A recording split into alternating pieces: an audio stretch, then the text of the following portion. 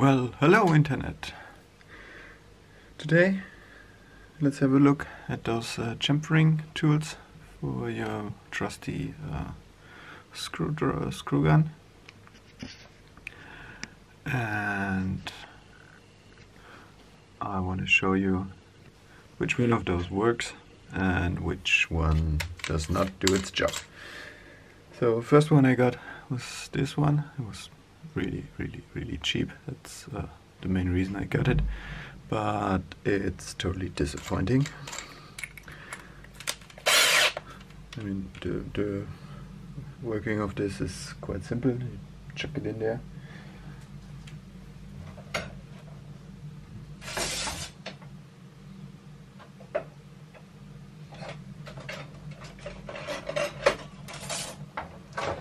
And then you grab your stock that you want to chamfer.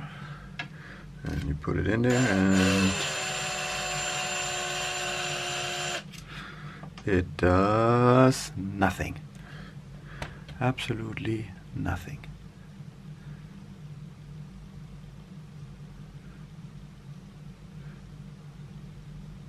And I mean also the camera is not focusing. It's not even rounded over or anything. It's just just totally disappointing.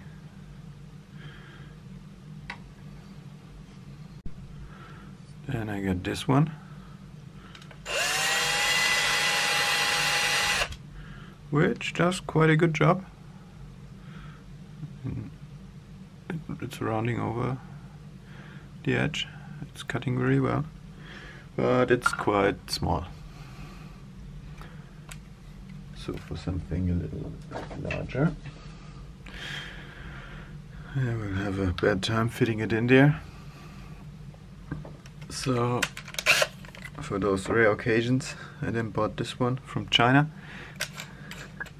which also had this feature of of having those uh, carbide inserts in there to to chamfer. And let's see how this does. I mean it's in, in hand, handheld operation.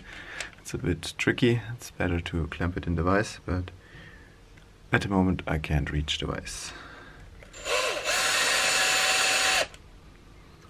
Yep. That's working. Fine. That's leaving a, a nice chamfer around there would absolutely recommend those. So if you have in doubt which one to buy, forget about these ones. They're just a piece of junk. And get the ones with the with the carbide inserts or hard hardened steel inserts. And no matter what size, they seem to work fine. And yep, that's it for today. Have a great one. See you soon. Bye.